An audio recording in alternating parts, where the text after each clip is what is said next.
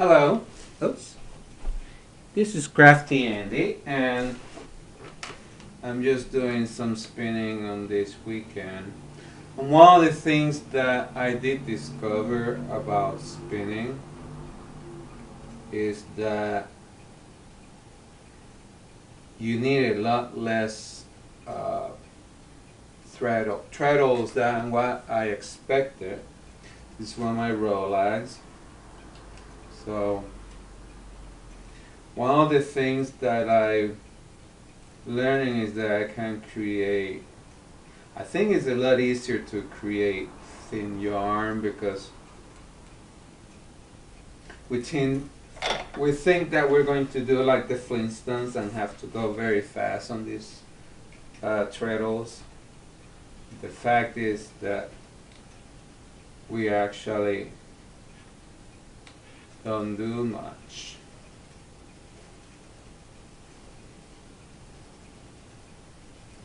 And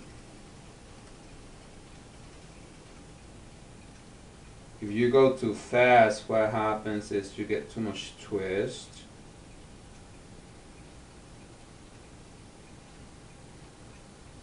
And this doesn't allow you to manipulate the yarn very well. Gets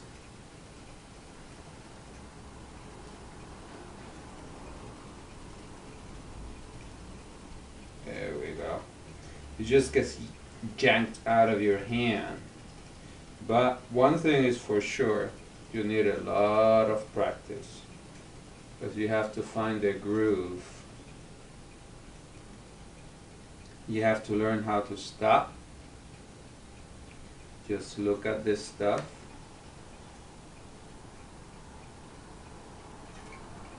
And how to even put things a little bit more into manual.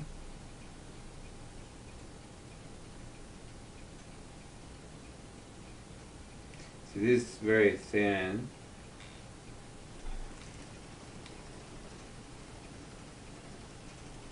which needs a lot more twist than if you're doing thicker yarn, which I'm doing right now.